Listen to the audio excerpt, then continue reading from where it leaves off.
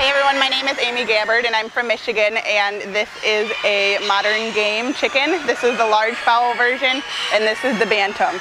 Uh, this is kind of how they stand as a modern game, um, however mine doesn't really like to stand so well. This is the lemon blue variety and this is a golden duckwing. They come in many different varieties. And uh, in the large fowl, the class that it gets shown in is the all other standard breed class. And in the Bantams, they have their own class for the modern games themselves.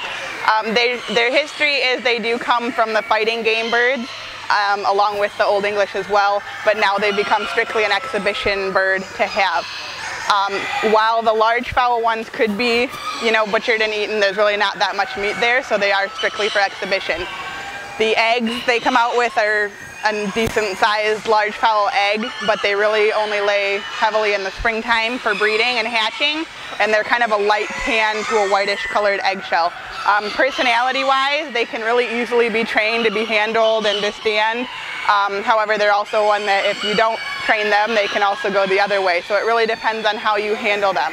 But they are a pretty easy bird to raise. They run outside pretty easily and kind of do their own thing and they don't take a lot of care. Um, so other than that, they're a pretty nice bird to have. Since they come in the smaller version as well, they really work well depending on how much space you have to raise them in. So these are the modern game, large and bantam. Thanks for watching.